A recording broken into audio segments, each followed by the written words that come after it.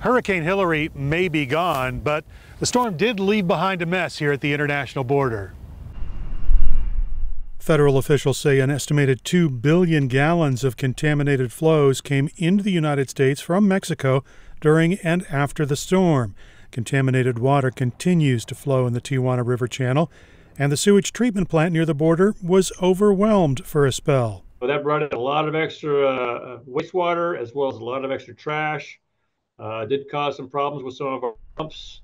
Um, there was a point where uh, it was too much flow. We have equalization tanks to to, uh, to store some flow during the surges, but they were getting close to overflowing, and we actually bypassed our secondary treatment for a period of about 10 hours. State water quality officials say they'll likely issue Clean Water Act violations, but water officials have limited authority. They cannot issue fines for those violations of discharge permits, and they can't do anything about the cross border flows coming through the Tijuana River Channel.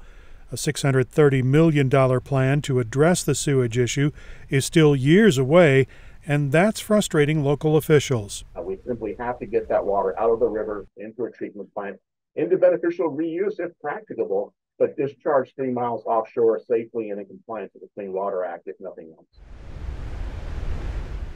In the meantime, the ocean continues to be unsafe for swimming in the southern part of the county.